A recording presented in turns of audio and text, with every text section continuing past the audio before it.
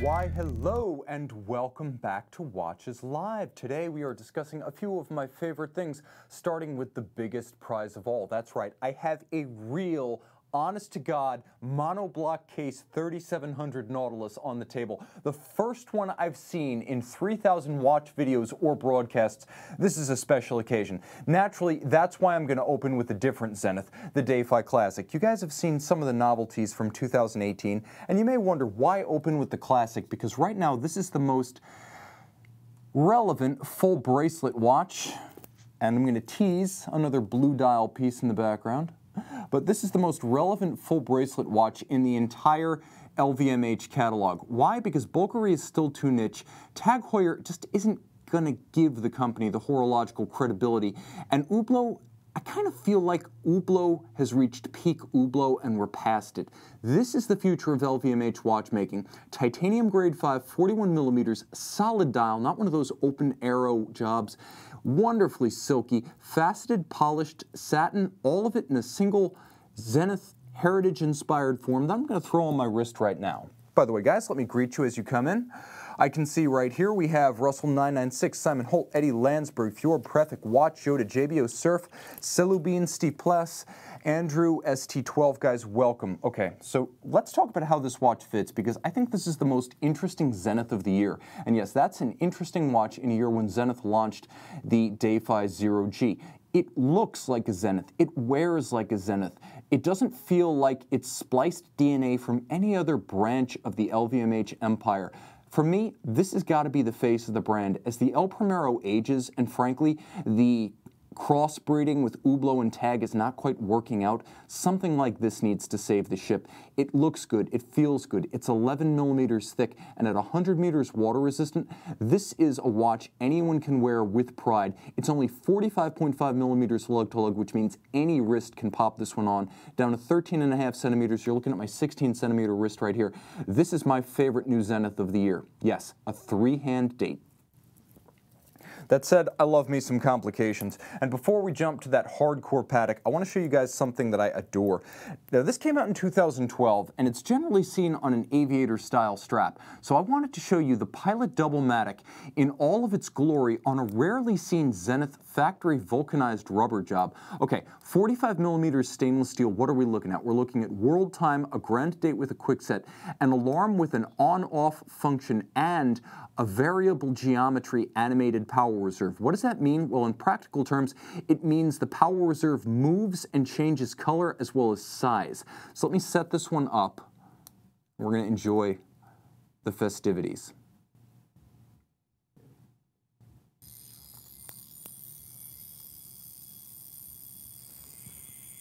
Turns from green to red as it circles the dial.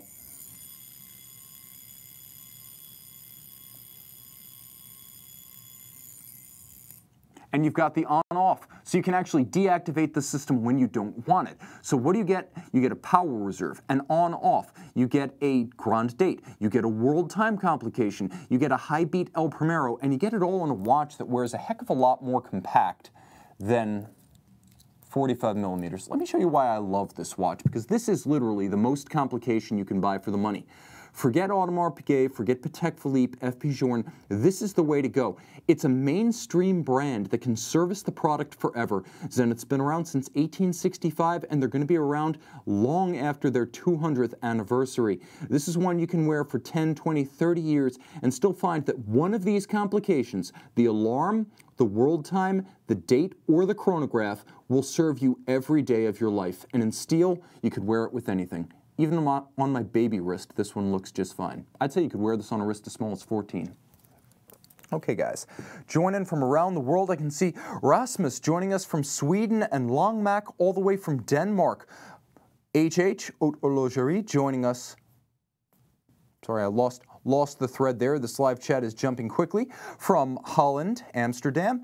And I can see Sinvo, hi Tim, finally managed to catch the live show. Welcome, Steve Bloss. It's a Zenith North flag. You know, the Defy does have a little bit of that, but if you look back to the original Zenith A384, you're going to see where that case design came from. It's not a North flag, it's very Zenith. You just got to turn the page back a few decades to see where it came from. All right, I teased you. Now I have to deliver. I told you we have a Patek 3700. The original Nautilus, as Genta invented it, yes, invented it. This watch features the original 1976 patent, we there we go, our macro camera. The original 1976 patent was for a monoblock case, which is to say the flank of the case features a junction between the bezel and the steel, and here, thanks to the two-tone, you can see that with exquisite detail, but as you get close, you can see where the bezel is actually clamped down to the case. You can see the gasket between the bezel and the case, and if you look at the case back, it appears at first glance to be a case back, but it's not. It's all milled from the same piece of stainless steel, which means that this extraordinary watch is a front loader. The dial and the movement go in from the front and they come out from the front when it's serviced. Now the original patent was for a two-part case, bezel and the monoblock, and that's what you get here. This 3700 was one of the very last made, which is why it has no Sigma dial, as that lapsed in about 1999. It features Patek Philippe maker's marks on the bracelet, not an aftermarket bracelet specialist. And if you look at the bracelet itself, it features ceramic spring-loaded pin snaps. This watch, by my estimation, was made sometime between about 2001 and 2005, when production of the original Nautilus actually ended superseded by the 30th anniversary 5711 with its three-part case. Now you'll note another distinctive feature of the 3700, the original Jumbo, the fact that there is no center seconds. This is as elemental as it gets, and what's the advantage of lacking the display case back and the center seconds? A slim profile. This is 7.4 millimeters thick compared to 8.1 for the 5711.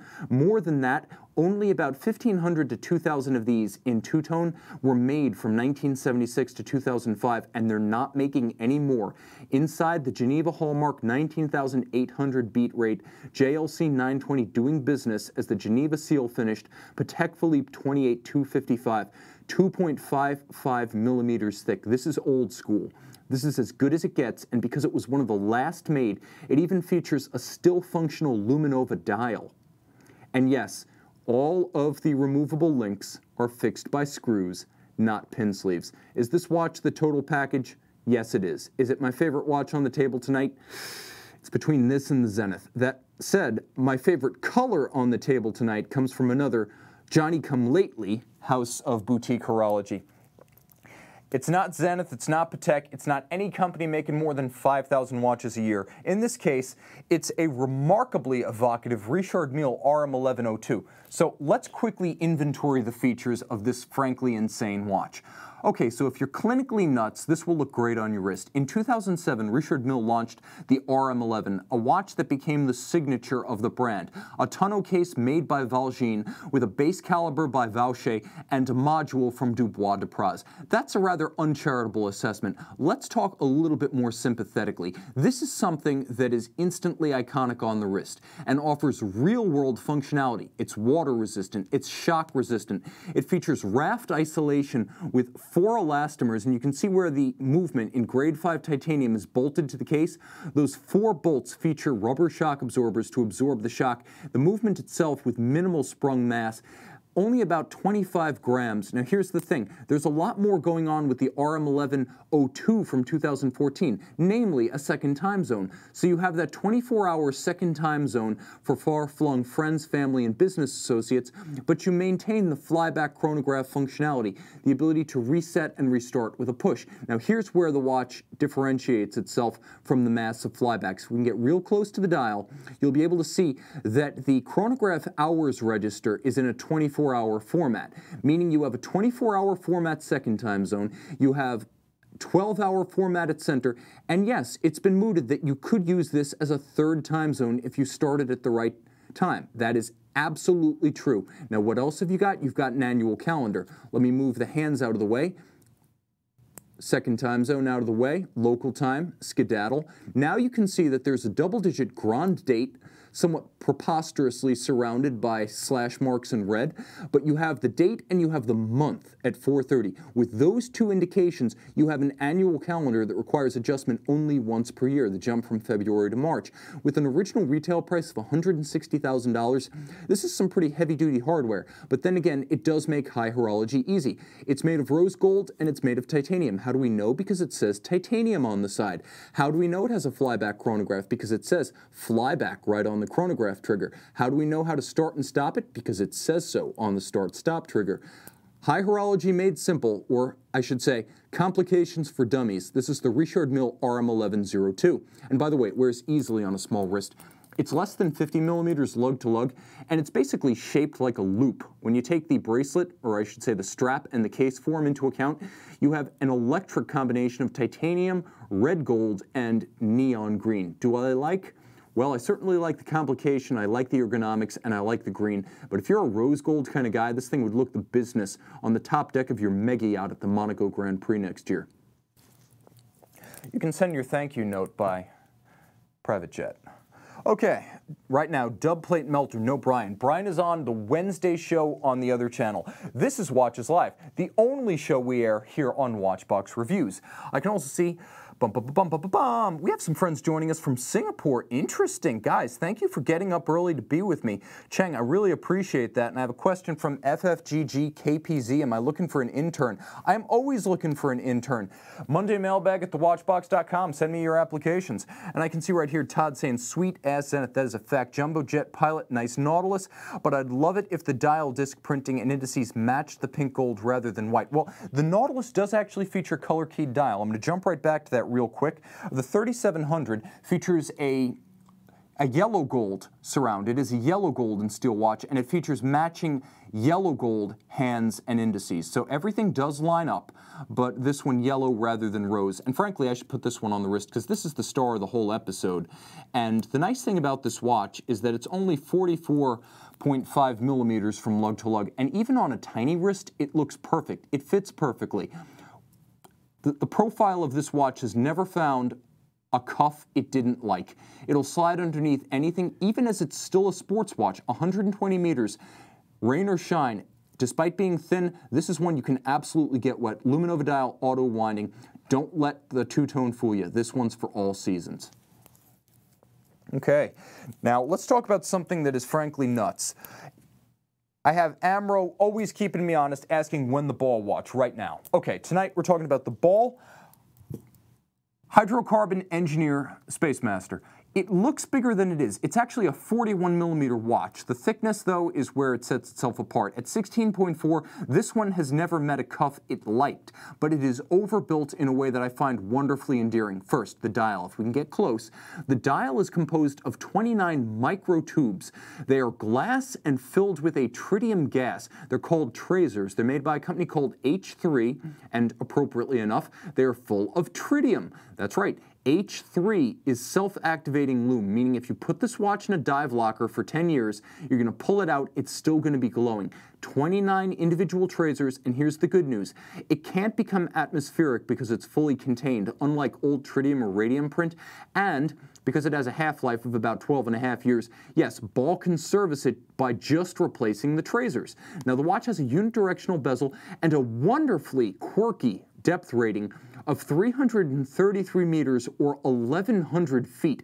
I adore that. I don't understand why, but I adore it. Now, it also has a wonderfully high 15,000 ampere per meter anti-magnetic protection. So the ISO standard 764 for an anti-magnetic watch is 4,800 ampere per meter. This one's over 15,000. You see, not one but two screws fixing each side of the bracelet, and the bracelet itself is descended from a Mosler vault. Take a look at the bracelet. It features two incremental adjustment systems, one on each side. So you have the ability to open one or both. Each one is equivalent to one full removable link. So you can effectively add or subtract two removable links by using the micro adjustment system located in both sides of the clasp. You want more? You got it. One of the strangest crown guard structures I've ever encountered. You actually pull a pin and then you displace the crown guard and it has all aspect protection like the Panerai system. It's just a little bit easier to use. Now here's, here's the trade-off. It's also a screw-down crown system, so you do have to screw it out, unlike the Panerai Luminor, but you get the same level of protection with maybe a little bit more theater built in. If you're a man who likes to show off and make horological friends with features and functions, this watch is perfect for you. Anti-magnetic, water resistant, also 7200G shock resistant. Ball is not shy about advertising the resilience of this timepiece. And if you are, in fact, an engineer, a hydrocarbon explorer, or a spacefarer, this is the watch for you from Ball. Again, not a huge watch. I'll put it on my wrist. You can see it. You expect it to be huge. It's technically a 41, and I can wear it on 16 cm. I think down to about 14, you're going to be okay with this. If you don't want to wear a Panerai Luminor and you want something that's even more left field than a Bremont, Ball. But I do have a Bremont on the table tonight. Before we talk about it, let's talk about something that's beyond the pale. Absolutely gorgeous. Platinum, tourbillon, perpetual calendar, and Jaeger LeCoultre. Back in 2009, this thing was the flagship. When the Master Grand Tradition line bowed, this was one of the inaugural models, 42 millimeters in platinum, PT950 extra white. It is a combination of a tourbillon with a gorgeous open lower dial, what you see at the bottom with the pyramid imprint is actually part of the movement. Only the upper two-thirds of the dial are actually dial. Everything you see below the words tourbillon and perpetual is a functional component of the bridges and plates of the caliber. Now, there's an overcoil for the hairspring. It beats away at 4 hertz. It is a one-minute tourbillon, but you also have, and you can see the adjustment system on the flank, the Kurt Klaus coordinated perpetual calendar system on a ruthenium-coated dial with white gold Dauphine hands and white gold dart-style indices. Now, everything is mechanically programmed, so you just adjust the date and the day, the moon phase, the year, the decade, even the month, all of them move in sync so you cannot accidentally invent a day-date month-moon combination. There's no math involved. If you can set a three-hand Rolex with a date, you can set this thing. Now I will mention, it's got a gorgeous case back. The dial is where the action is, but you can see the handsome 22 karat mass in an era when we're seeing more and more 21 karat, 18 karat, or even tungsten carbide on $100,000 watches. This is refreshing. Ceramic bearings, unidirectional winder, 48 hour reserve, but it's the double crested Cote de Soleil. You can see it's not one, it's two Cote de Genève superimposed. If we can get really close here, you can see it, but it's a double crested sunburst system of Cote de Genève radiating out from the balance bridge. You'll also note a micro perlage across the base plate itself. This one is a supernova in broad daylight. And you can see that dial, metallic, bi-level, ruthenium coated. And this is the advantage of that open lower dial. You can see everything inside the tourbillon assembly. You'll even note there's a black polished, continuously rounded bridge. This is as good as it gets for JLC finish and watchmaking. Tim, what do you think of Voutilainen's watches, and what's the chance of having one of Kari's pieces on the show? I'd say the chances are good. We've had just about everything over the years, literally everything. I like his watches. I think the 28's a nice piece in its most elemental form. You get a cool, oversized balance, a big, open, and visible movement. You get his distinctive lugs. You get his in-house dials. He actually owns his own dial factory, and a unique double direct impulse escapement system that's still considered cutting edge in the industry. But it's the attention to detail. It's that which you don't see at the macro level. When you put a Kari watch on your wrist, you're actually losing the advantage of the case back, and you really need to own a 10 to 20 power loupe to appreciate the extent of what he's offered. From an arm's length, it could be any off-brand watch from an FP Journe or a Laurent Ferrier. When you get close, that's where it sets itself apart. All right, lots of friends joining us tonight. I can see JBO Surf saying that thing is, is a beast. Hail Bop, late again. Martin Newton, I Crumb. You know, Hail Bop, I don't blame you for being late, and I'm going to reward you for your fidelity to the show with something truly special. Let's talk. Let's talk Patek Philippe. Let's go from Nautilus, from the depths of the seas to the height of the heavens. Is the 2015 Patek Philippe 5102p. Let me see if I can get the light to hit it at the right angle because you really need the benefit of good lighting and the right angle to appreciate this star chart. You get one lunation, you get a date, you get sidereal time, you get a star chart in the northern hemisphere as seen from Geneva. Here's what you're looking at. You're looking at three separate discs. The bottom one provides that gorgeous metallic blue. Let's see if we can get that. There we go. Perfect. Good focus. The bottom one provides that gorgeous metallic blue. The second one produces the moon, which not only migrates around the dial, it also changes phase in real time. Now, what you see in the aperture at the top of the dial is in fact the stars as you will see them in the northern hemisphere. The last of the disks underneath the dial features the image of the Milky Way, that is all of the stars in the cosmos. So all of those celestial bodies move simultaneously. The difference between the 2002 5102 and the 2015 6102 is the presence of this large radial date and some dimensions of the case. Now I'm going to quickly engage this monster so you can actually see how it works because you deserve a little bit more than a description. You need to see. Okay. So I'm going to grab my polishing cloth, clean off that crystal because fingers, and now we're going to see what this watch actually does in motion. Let me get the angle right. This is what you see if you're fortunate enough to own the watch. You see the continuous action of the cosmos through that star chart aperture, and when one star crosses a meridian, once and then again, that is one sidereal day. Now, in the opposite direction, you can see that the moon moves while changing phase in real time, so you get both. And then, of course, there's that radial date with the lunette indicator. You'll also note that the flanks of the watch, immaculate and resplendent in platinum with the top Wesselton diamond between the lugs at 6 o'clock. Platinum Patek Philippe celestial complication, and yes, this was originally an application piece.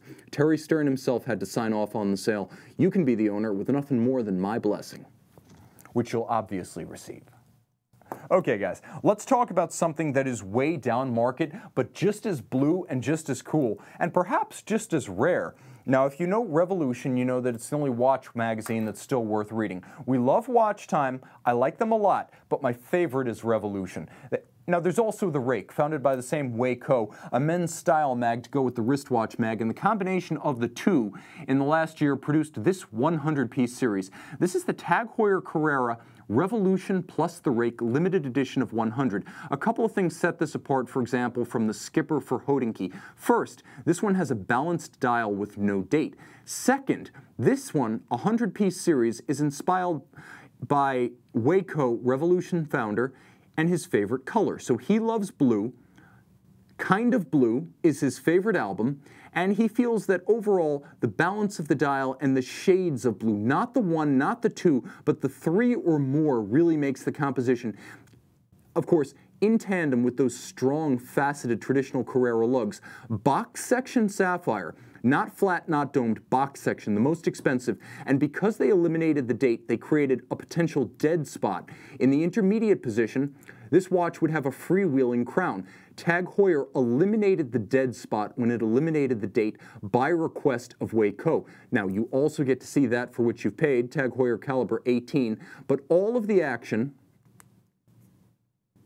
and I will actually show you something cool here. All of the action is on the dial side of the watch, where you'll note it is a glorious blue matte 39 millimeters in diameter, and it comes with two straps. There's this perforated navy blue period piece in leather, and there's another one that's a NATO strap in textile. A gorgeous watch on the wrist this thing looks the business and feels it. I approve for wrists as small as 13 and a half centimeters circumference, but it'll work with just about any attire and properly for a watch that's more than a little nautically themed, 100 meters water resistant. I love that watch. Okay. Right here, I can see Daniel Chapman joining in, the boss of Hunt Club coming in. I can see we've got friends from Sutat, a longtime viewer. Mark S. saying he loves that tag, and the boss saying, I was looking at Spring Drives and Omega Seamaster Rail Masters. Mm, okay, let me know. Which one would you prefer? I'll give you my opinion. I go with Spring Drive. As much as I love the Railmaster, Spring Drive is something unique. But here's the thing Spring Drive is a movement, the Railmaster is a model. So you got to pick a case for your Spring Drive. Let me know what you got in mind, and I'll throw in my two cents. Okay. Tim, did they make that tag with a black dial? No. That's a piece exclusively for Revolution and the Rake, right down to the movement engineering, which is specific to them too. Oh, right, bump, bump, bump. Alexi Simola of Finland saying, make mine a Heuer 2444 pre-Carrera nicer movement. And then Sutat saying, how much is that tag? I forgot to mention, all of this is for sale, guys. Well, you're in luck because for once I've actually got pricing. That watch is, wow, we're asking 9000 that's a watch that's held its value rather remarkably. I can't tell you I'll see another one. We've had one. I'm guessing we'll have one. If you want it, you know where to find it, and now you know the price. That said, you do have other options in the sports watch segment, and I'm going to throw out a friend from a brand I absolutely adore, a brand I think you guys love as well, Sinn Uhren. Sinn Special Uhren of Frankfurt in 1997 gave us the original EZM1, the original mission timer that one was of titanium and 40 millimeters. For 2017, the mission timer is back 500 pieces integumented, basically indelible steel. I've never seen a scratch or scuff on tegimented steel. It's basically a culturizing process whereby the face of the steel is hardened, and in my experience, it has the scratch resistance of ceramic without any of the fracture risk. Now, there's a lot more going on here. You have a captured bezel whereby you can see the bezel is actually held on by screws, so you can't snap it off like you can a Rolex or Omega Seamaster bezel. This one has to be removed by first removing the screws. Yes, it's a lefty, or as Panerai would say, a destro. You have opposite side crown and chronograph pushers because that simply makes more functional sense. When it's on your wrist, it's easier to use a chronograph pusher that you can actuate with your thumb. Now, they've used their own semi-in-house SZ01 caliber rather than the original watch's Lemania 5100. What has changed? Well, over the base 7750, you have radial seconds and minutes for the chronograph, which means you read the chronograph from the center. Why is that important? Because it makes easy reading at a glance automatic. Now, there's a lot more going on here. The interior of the watch is filled with neutral, or I should say, inert noble gas, not argon, as the label would suggest, but helium. Now here's the other thing. There is a copper sulfate tablet in the flank, pardon me, nitrogen, not helium. There's a copper sulfate tablet in the flank that actively removes humidity from the interior of the watch. That is a big, big deal because it is replaceable and it actively dehumidifies the watch. It's not enough to hope it was sealed up at your watchmakers. Not after years in service. It's better to have layers of insurance. You've got the gas on the inside, you've got the double seals, and you've got the copper sulfate. Now, if you look at the case back, you'll note no display case back here. Sinn is honest about what's inside. It's a 7750 tuned and re-engineered by Sinn. But 20 bar water resistance means that whether you're actually a German customs agent or just a desk diver, this is one that's ready for just about any adventure you have in mind. Compared to the 40 millimeter original, this one is 43, and I absolutely adore the way it sits on my wrist. A big watch that wears small. Sinn is all about utility. And you can tell your friends you found the mythical German sports watch. Yes, they do exist. All right, Question right here, Amro, about the Line Sport mono pusher. I got you. Another sports watch from an entirely different corner of the world, geographically not really that far away, but an entirely different mindset. From Geneva comes possibly the chronograph of 2018. It's the FP Journe Line Sport Monopoussoir Rattrapant, a timepiece 44 millimeters in diameter and 12 millimeters thick. It sticks to FP Journe's ethic of keeping his watches relatively slim. Now, let me be perfectly honest. This is a controversial watch with a rather dramatic neck down between the bracelet width, the integrated lugs, and the case profile.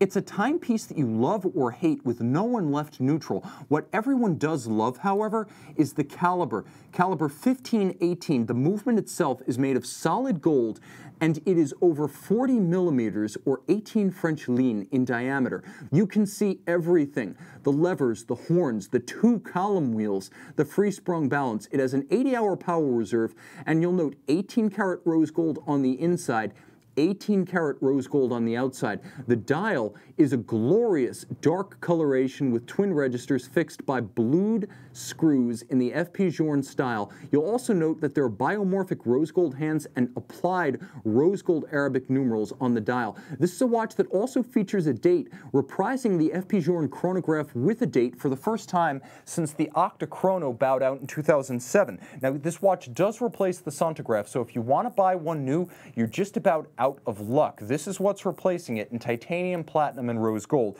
I may as well fire up this 80-hour reserve and show you that for which FP Journe has been working since 2015. FP Journe movements, by the way, 15, 18, 15 is the year he started work, 2015. 18 is the size in French lignes. Now let's see it in action. Okay. It is a split second mono pusher.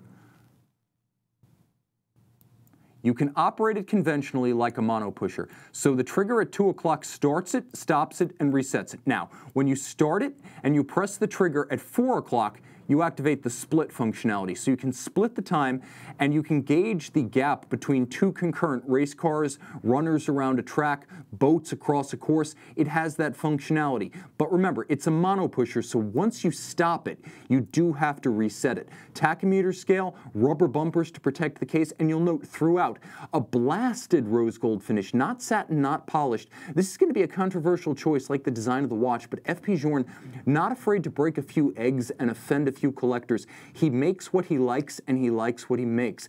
The one name on the dial, the only name on the watch, is the only vote that matters at Montre Journe. All right. I opened with a Patek Nautilus born of the 70s. I'm going to end with an Omega Seamaster born of the 60s. That's right. I have a true Omega Seamaster 300, a 165024 on the table tonight. Now you can see this one is a survivor.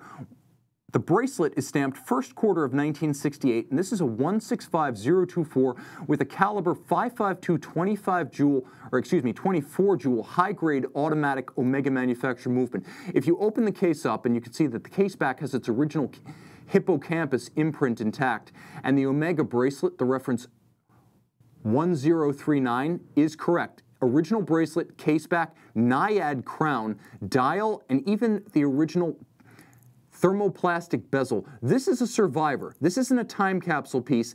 It's not a museum piece. What this is is a daily driver that has survived the ravages of time, hard use, the life of a sports watch born to be abused, and it's made it to the modern era more or less as it left Biel/Bienne back in the 1960s. This watch is 40.5 millimeters, so it wears like a modern watch on the wrist. And the bracelet, despite its age, vintage to 1968, still has all of its original manufacturing tolerances and metal. As you can see, very little of this watch has been refinished, which means all of the original stainless steel is still present and correct. This is a gorgeous watch, and I'm going to oblige you with a wrist shot because my career in luxury watches started with Omega. I've got a soft spot for the brand, and this episode is going to end with Omega. Okay. Omega Seamaster from the mid 60s. I can imagine wearing this thing for a dive on the wreck of the Andrea Doria off my native Long Island. A monster, still a monster, in 2018. Over 50 years young, it's the Omega Seamaster 165024. Guys, thank you so much for joining me tonight. I want to thank everyone who tuned in, especially you guys who got up early in Singapore and you guys who stayed up late in Africa, the Middle East, and Europe. I really appreciate all my viewers around the world. I'm Tim. This is Watchbox Reviews. This is Watches Live. They're the crew. I'm thankful to you. Time out, Tim out, and thanks for logging on.